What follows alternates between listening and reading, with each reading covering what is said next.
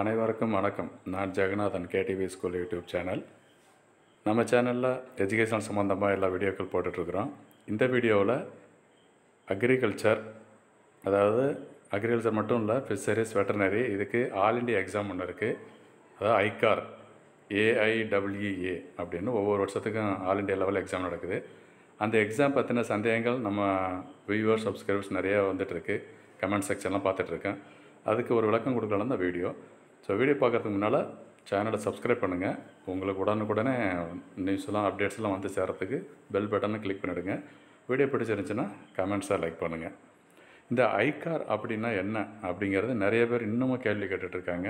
It's a Indian council of agricultural research அப்படிதான் இந்திய வேளாண்மை ஆராய்ச்சி நிறுவனம் அப்படிங்கிறது ஒரு ஆர்கனைசேஷன் கவர்மெண்ட் ஆர்கனைசேஷன் இவங்க என்ன பண்ணுறாங்கன்னா ஆல் ஓவர் இந்தியா விவசாய சம்மந்தப்பட்ட கல்வியாக இருக்கட்டும் ஆராய்ச்சியாக இருக்கட்டும் வேறு வேறு எதாவது டெவலப்மெண்ட் வளர்ச்சி எல்லாமே இவங்க தான் ஹேண்டில் பண்ணுறாங்க ஸோ இட்ஸ் கவர்மெண்ட் பாடி இப்போ நம்ம பிஎஸ்சி அக்ரி படிக்கணும் பிஎஸ்சி ஃபாரஸ்ட்ரி படிக்கணும் பிஎஸ்சி ஹார்டிகல்ச்சர் செரிகல்ச்சர் அது இல்லாமல் ஃபிஷரி சயின்ஸு அப்புறம் ஃபுட்டு ஃபுட் டெக்னாலஜி இருக்குது இதெல்லாம் படிக்கணும் அப்படின்னு சொன்னோம்னா அதாவது BSc agri and allied sciences இந்த கோர்சஸ் படிக்கணும்னா இந்த ஐகார் எக்ஸாம் எழுதலாம். இது all over India ICAR exam அது இல்லாமல் ஒவ்வொரு ஸ்டேட்லேயும் யூனிவர்சிட்டி நம்ம தமிழ்நாட்டை பொறுத்த வரைக்கும் தமிழ்நாடு அக்ரிகல்ச்சர் யூனிவர்சிட்டி அவங்களும் கோர்ஸ் இருக்குது பட் இது வந்து ஆல் ஓவர் இந்தியாவுக்கு அப்போ ஐகார் வந்து இன்னொரு கேள்வி கேட்டிருந்தாங்க.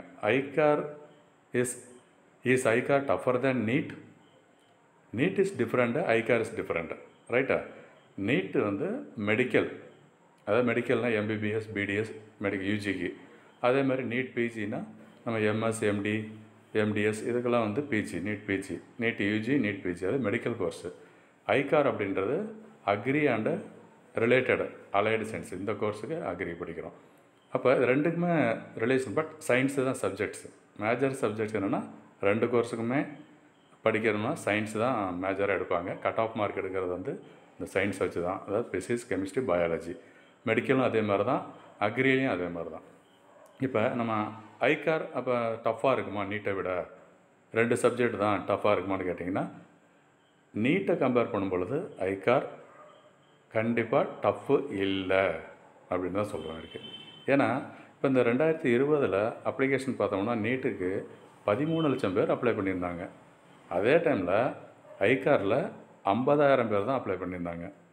அதே மாதிரி அப்போ டிமாண்டு வந்து அதுக்கு இருக்குது அப்போ இதுக்கு இல்லையா அப்படின்னு கேட்டால் அவங்களுடைய ஸ்டூடெண்ட்ஸுடைய வில்லிங்னஸ் அவங்களுடைய ஆர்வம் என்ன?